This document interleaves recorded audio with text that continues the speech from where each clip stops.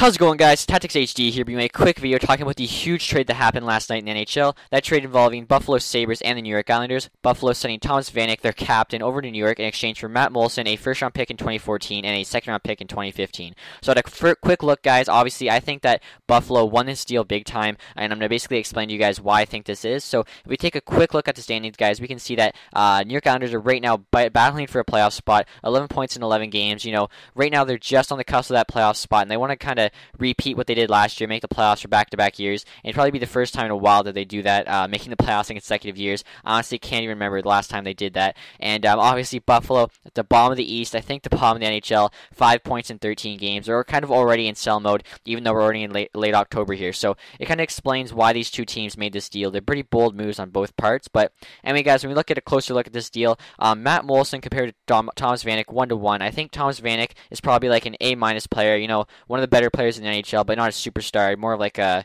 a good player, but you know nothing crazy. And then Matt Moulson is probably like a B, maybe a B plus player. Obviously, he gets a lot of uh, support from his center there, and John Tavares, one of the best players in the game. I think personally, probably a top five player in the game right now. Just amazing, really, what he does for New York Islanders. But um, after comparing them one to one, guys, obviously we think Tom- Thomas Vanek's probably a little bit better skill wise. Uh, you know, not drastically better, but definitely better. And then we look at their age, they're both 29, so they're both at the kind of like I w- I wouldn't say prime, but you know, end prime of their career. They're going to start kind of, you know, the next two or three years, probably after the next two or three years, probably when we start to see a bit of a decline. Obviously, it's different for all players. Pavel Datsyuk's like 33 or whatever. He's still just crushing it, but you know what I'm saying, guys.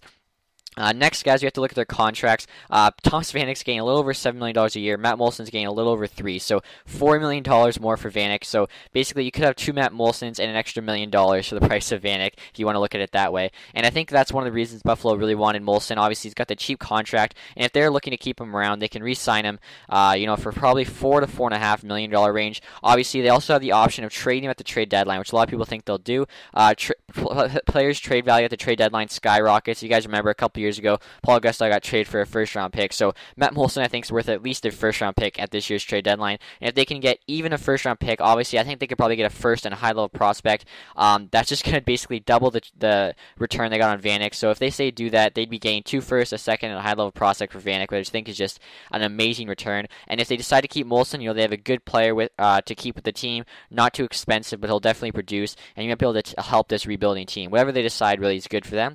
And on the flip side, guys, looking at the Islanders, Thomas Vanek is making more than John Tavares, which I think a little bit crazy. But I mean, John Tavares basically uh, was was basically uh, just the nicest guy in the world when he signed that five and a half million dollar a year uh, deal with the Islanders for I think six six or seven years, and uh, basically saved them a lot of money because he definitely deserves to be making in the range of eight, around the same as Claude Giroux, and uh, Thomas Vanek's contract also expires at the end of this year, so it's going to be really interesting to see if he resigns with them or not. If he chooses not to resign, it's kind of a slap in the face because, you know, Islanders showed that they liked him and they gave up all this to get him, and if he decides to leave, I kind of really feel bad for the Islanders fans. But also, guys, if he does decide to stay, uh, it's going to be really interesting to see what price he stays at because uh, Thomas Vanek's making a little over seven right now, and I think you know a reasonable price for him is somewhere between six and six and a half. But that's on the open market. If the Islanders want to re-sign him, I think they're probably going to say something like, "We're paying John Tavares five and a half. You're not as good as John Tavares, so we'll give you five. And then Vanek's going to say something like, "I can easily get seven in free agency. So I, I don't know how those uh, contract negotiations are going to go down.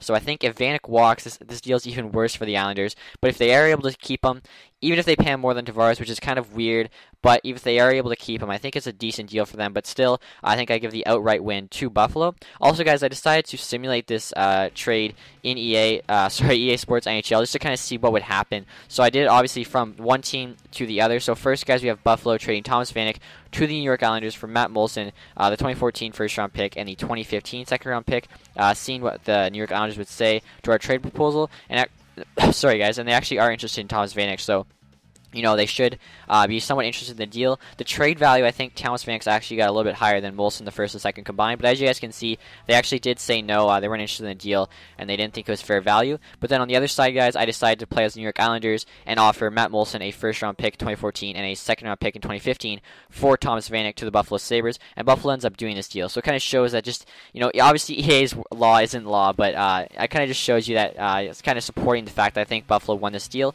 As well, guys, uh, in case anyone's wondering, This was on a hard trade difficulty, so it is authentic. It should uh, be the right answer. But anyway, guys, that's it for this video. Those are my thoughts on this trade. So just in conclusion, guys, I think Buffalo won this deal. Uh, if both players go to new teams at the end of this year, Buffalo still wins the deal. If both players resign, Buffalo still wins the deal. So that's pretty much it, guys. Hope you guys enjoyed this video. Please in the comments let me know what you guys think. I'd love to hear from you. Also, guys, let me know if you'd like to see more, uh, you know, real NHL uh, videos like this one, just reviewing uh, things happening in the NHL. Probably won't see another big deal like this until the trade deadline, but uh, until that time, you know, if anything else, you know, really, uh, I guess, opinionated happens, I'll try to give my thoughts on it. Besides that, guys, thanks for watching. Stay tuned for more NHL 14 videos. If you enjoyed this video, guys, please leave a like. Also, guys, a new Calgary Flames GMO video went up a couple days ago. If you want to check that out, a link will be in the outro. And besides that, guys, thanks for watching. Stay tuned for more. Have a nice day.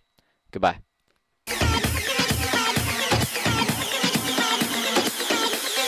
It's the kind of beat to go.